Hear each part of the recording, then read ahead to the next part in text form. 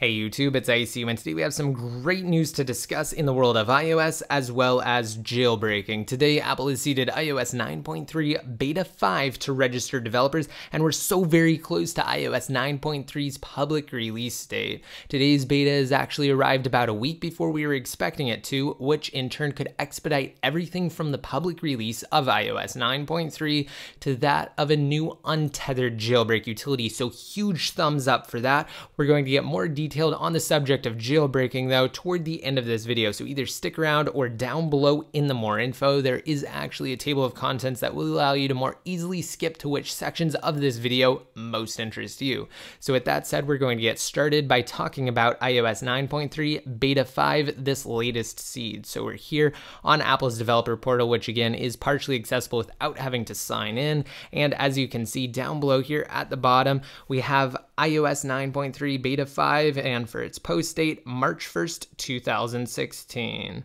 So before we get into what specifically today's beta brings to the table, we're actually just going to discuss iOS 9.3 in general. So let's go ahead and switch on over here to Apple's preview page for iOS 9.3 and quickly discuss it. So essentially iOS 9.3 brings Night Shift to the table, which basically is the company's own iteration of f.lux. It modifies the blue light exposure at night, it kind of reduces it, and it's just easier on your eyes, so it's a more pleasant viewing experience. We also have security for notes, so you can now lock the Notes application and in turn your notes within said application with a passcode, and then that can also also be accessed via Touch ID if you have a device with a Touch ID sensor.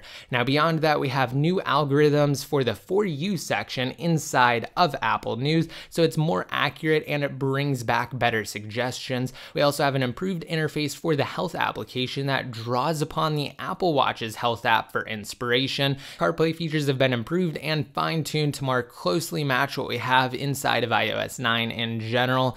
And there's also Verizon Wi Fi calling beta form. There are a few other minor changes here and there as well. We're not going to get into all of them in today's video. In your cards right now, I will actually have a link to my video discussing iOS 9.3 Beta 3 where I go fully into depth on all of iOS 9.3's revisions. Now, let's talk about iOS 9.3 Beta 5 specifically. What does this latest beta build bring to the table? Well, if you remember back to this firmware's predecessor, after Beta 4 was seeded, I released a video discussing something rather odd. Apple had seemingly confirmed release plans for iOS. They did state that we would receive another iOS 9.3 beta, which is here today. And the reason for this beta is mostly to add Apple Pencil functionality back to the iPad Pro for navigation purposes. And the previous four installments of iOS 9.3 beta, Apple had seemingly removed the functionality to be able to navigate your iPad Pro using an Apple Pencil. Well, now that's back with iOS 9.3 Beta 5, just like they promised. So I'm going to launch up Safari here, and just for a quick demo, I'm going to show you that we can indeed scroll inside of Safari, something that we previously were not able to do, and I definitely am running the latest beta iteration of iOS 9.3. You'll notice down below here at the bottom, we do have that night shift toggle, and it is the latest icon for Night Shift, which was added in beta 4. So you can tell that we definitely are running the latest beta here. So again, we can fully scroll through things now using the Apple Pencil and use it for other navigational tasks, such as being able to navigate through this multitasking interface here and even quitting out of applications. It's a little more difficult, but once I get it here, there you go. You'll see that we can actually quit out of apps as well just by using the Apple Pencil, something we couldn't do in the previous four betas. So Apple has now added this back, of course. And there's also one other change in iOS 9.3 beta 5, and that is actually the ability to more quickly toggle on and off the night shift feature just inside of Control Center. In iOS 9.3 beta 4, you'd actually receive a little pop-up asking you for how long you wanted to turn night shift on. Now it just works and you can toggle it off just as easily. But believe it or not, that is it for iOS 9.3 Beta 5. We have no other revisions right now, and it seems like Apple is pretty set on iOS 9.3 as it stands currently. So this will most likely be the last beta before it is released to the general public,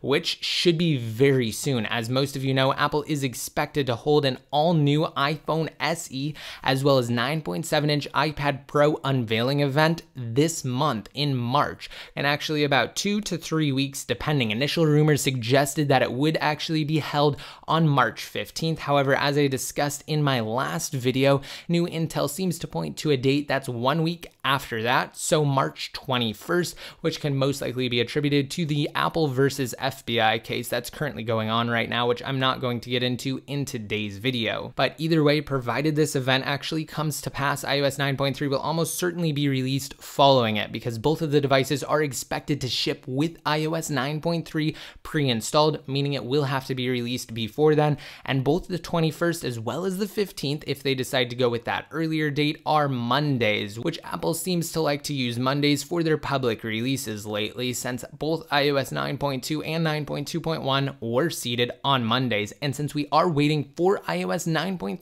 to drop before a new jailbreak utility can be issued, this date is absolutely key iOS 9.3's release, which now, in conjunction with the information found in this previous video, looks like it may very well be on March 21st, though since iOS 9.3 Beta 5 was seeded today, just over a week following its predecessor, it is possible that it could come earlier.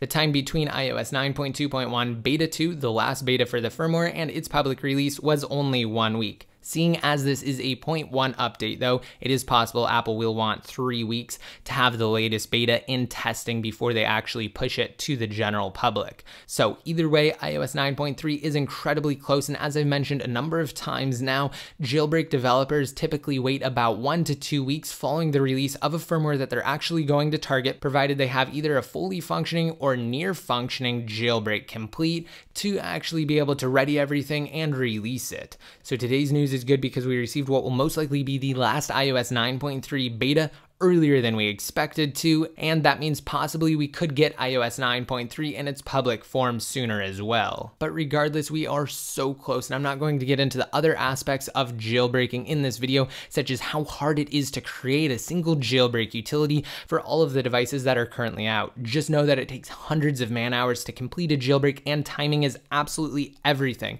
I know it may seem like a long wait, but we have had to wait longer in the past, from the time of Version 6 for up to iOS iOS 6.1.2 is patched by 6.1.3 until the next untethered jailbreak was released. For iOS 7, it was over nine months, and we're currently not even close to that. So just trust that TaiG and or Pangu will continue to update us in the future with new jailbreak utilities and be thankful that they're even doing so because without them, we wouldn't have jailbreaking today in its current form.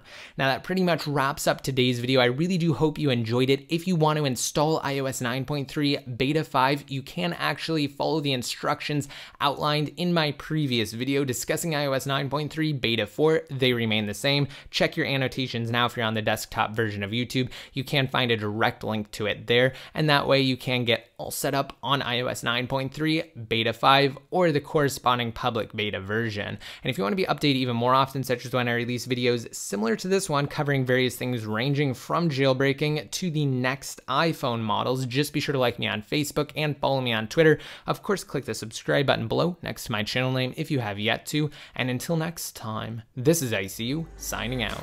Join the iCrack Your iDevice community on Patreon to help out the channel and to be featured in videos similar to these top contributors. Click the link on your screens now if you're on desktop or check below.